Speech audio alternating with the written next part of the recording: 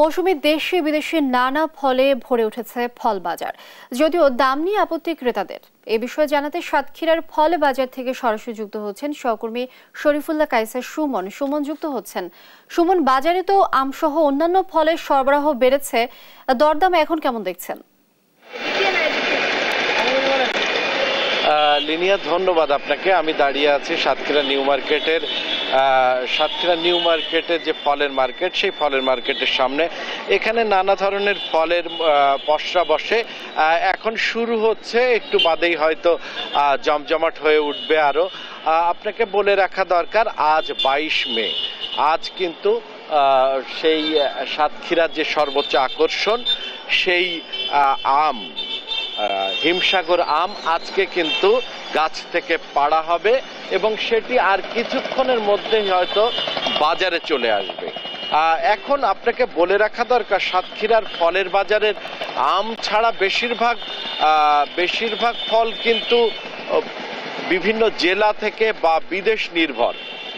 এর মধ্যে বলে রাখা দরকার যে মানে ফল যেগুলো রয়েছে, সেই ফলগুলো কিন্তু বেশিরভাগই কিন্তু বিদেশি ফল হিসাবেই এখানে রয়েছে। এবং সব ফলগুলো কিন্তু মূল্য এত বেশি যে, যেগুলো আসলে সাধারণের কাছে এখন এটি হচ্ছে অনেকটা বিলাসিতা। এই এই ফল যে তার সন্তানের মুখে দেবে, সেটার সুযোগ কিন্তু খুবই কম। এখানে যে কমলা রয়েছে এই কমলার দাম তিনশো টাকা তিনশো টাকা কেজি। একই সাথে একই সাথে আপেলের দামও একই অবস্থা একই অবস্থা এবং অন্যান্য যা অন্যান্য যা রয়েছে, সবই হচ্ছে খেজুর খেজুর রয়েছে এক হাজার টাকা কেজি। এবং লিচু আছে, লিচুটিও বাইরে থেকে আসা, এটির দাম পাঁচশো টাকা কেজি। প্রত্যেকটি আসলে আসলে বাইরে থেকে নিয়ে আসা।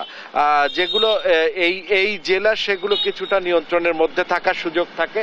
বাইরে থাকা বাইরের এগুলোর কারণেই কিন্তু এগুলো নিয়ন্ত্রণের মধ্যে আসার সুযোগ নেই বললে তারা জানালেন। লিচু কত? পাঁচশো টাকা সব পাঁচশো টাকা শ- শ। আমরা শুনলাম এখন আমরা এগুলো সাধারণত আসলে এগুলো যাদের সাধ্য আছে তারা ছাড়া আসলে কিনতে দেখি না। একজন সাধারণ মানুষের সাথে কথা বলি ফল কেনা হয় ঠিক মতো না টাকার অভাবে কেনা হয় না।